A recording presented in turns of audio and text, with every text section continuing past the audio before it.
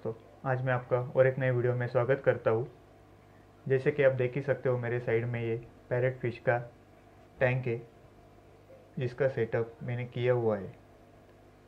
Actually, इसका setup का video मैं कुछ कारणवश बना नहीं सका था, इसलिए मैंने इसका सेटअप का वीडियो नहीं डाला था। लेकिन मगर, मैंने इस टैंक का एक वीडियो यूट्यूब स्टोरी और इंस्टाग्राम पे अपलोड किया था। तब मुझे बहुत सारे सब्सक्राइबर और व्यूअर्स ने बोला था कि आप प्लीज़ आप इसका सेटअप का वीडियो कीजिए। मगर सेटअप का वीडियो तो मैं कर नहीं सका। परंतु मैं आपको आज इस टैंक के बारे में पूरी जानकारी देने वाला हूँ कि इसमें मैंने क्या क्या यूज़ किया है, इसका फिल्टरेशन कैसा है और जो पीछे आप स्टोन की वॉल देख रहे वो है क्या? इसके बारे में मैं आज आपको टोटल जानकारी दूँगा पैरेट फ़िश के बारे में। तो चलिए। देख ही सकते हो, ये है मेरा पैरेट फ़िश का टैंक अगर आपको पैरेट फ़िश रखनी है तो कम से कम ढाई फीट लंबा टैंक लीजिए।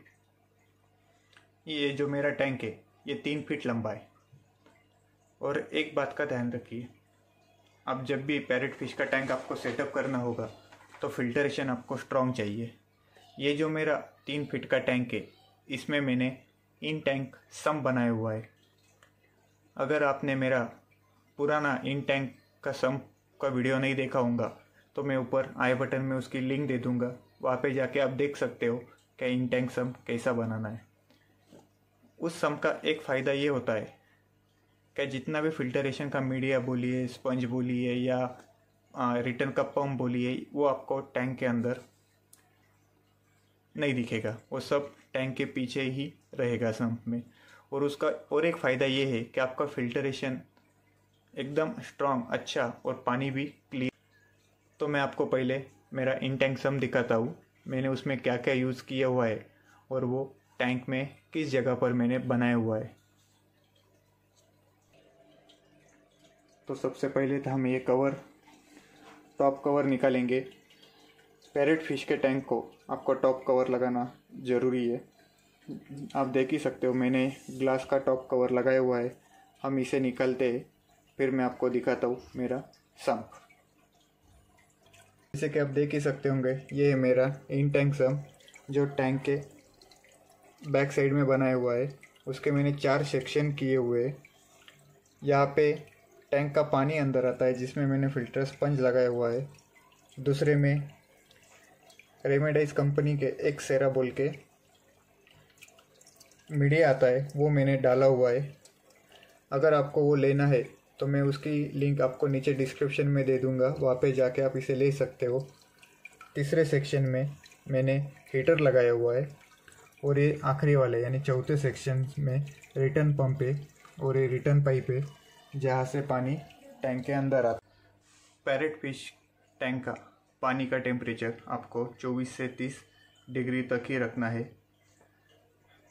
मेरी राय माने तो आप इसे 26 पे सेट कर दीजिए और विंटर के दिनों में वो 28 कर दीजिए। अब आते हैं सेटअप के पास।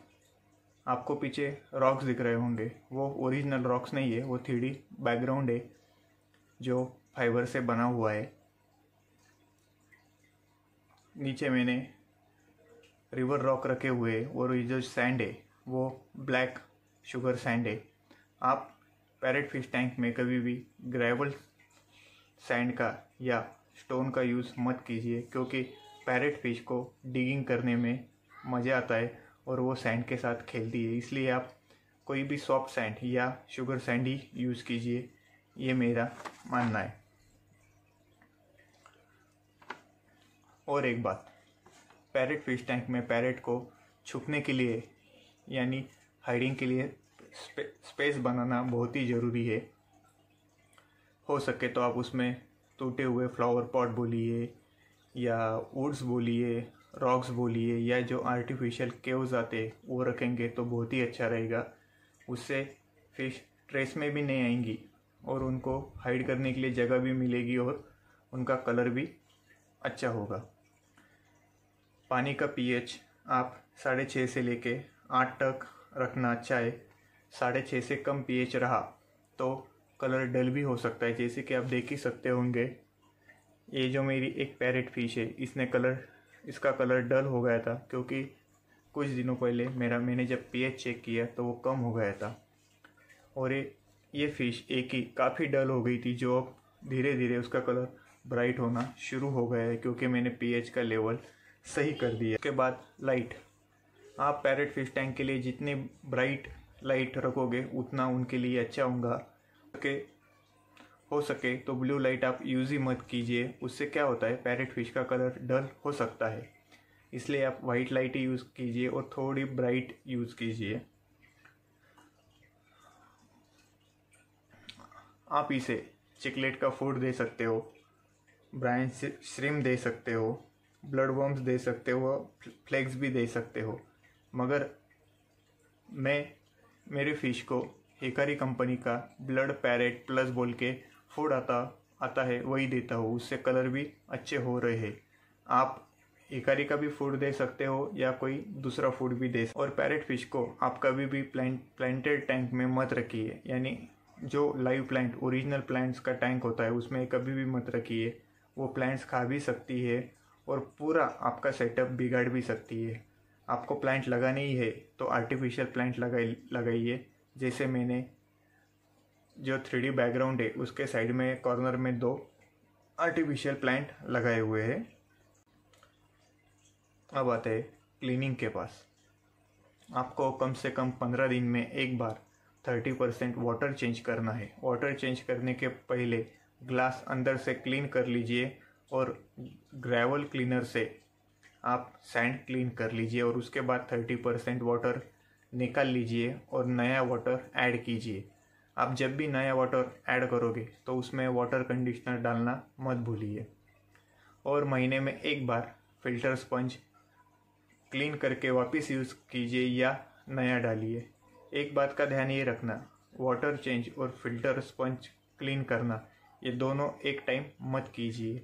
दोनों में कम से कम दो या तीन दिन का गैप रखिए। उससे बेनिफिशियल बैक्टीरिया कम होने के चांसेस कम होते हैं। यानी समझो आपने आज वाटर चेंज किया है तो कम से कम दो दिन के बाद ही आप फ़िल्टर क्लीन कीजिए। और फ़िल्टर क्लीन करते वक्त ये बात मत भूलना कि आपको फ़िल्टर का स्पंज ही क्लीन करना है।